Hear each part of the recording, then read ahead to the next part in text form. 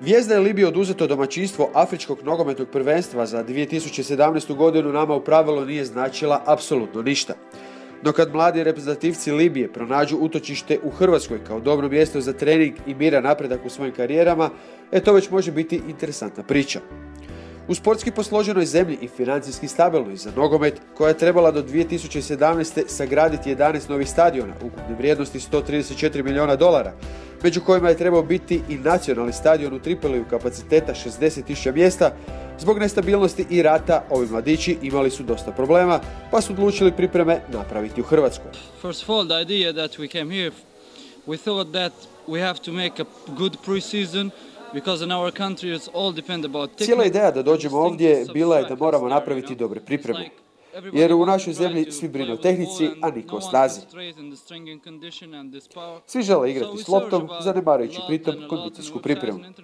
Tako da smo puno istraživali po internetu i pronašli smo Marina Bašića i njegov tim, te saznali o novim metodama koje bi nam mogli koristiti. Otkad je s vlasti svrgnut Gaddafi 2011. godine u toj sjevernoafričkoj zemlji situacija se ne smiruje. Novi dečki ipak vjeruju u nastavak njihovog prvenstva. Because you know the situation in Libya was war so we didn't training for three months. Znate, u Libiji je ratno stanje i nismo trenirali već tri mjeseca. A ovdje bi se htjeli pripremiti za sezonu u Libiji koja bi trebala startati za nekih mjesec dana.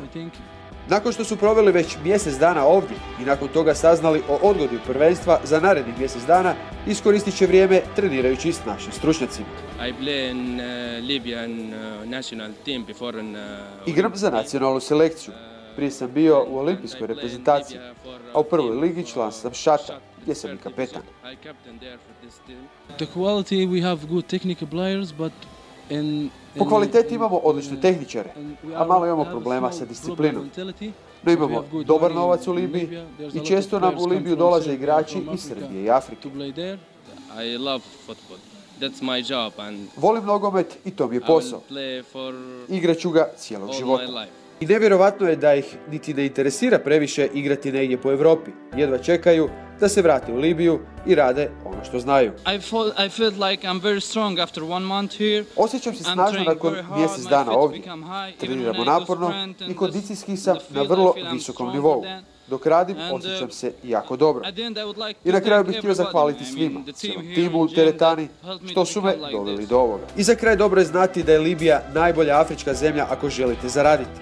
Nogomet je njihov život i posao, a kao A reprezentativce koji grade svoje karijere možda ih sretnemo na nekom od idućih svjetskih prvenstava.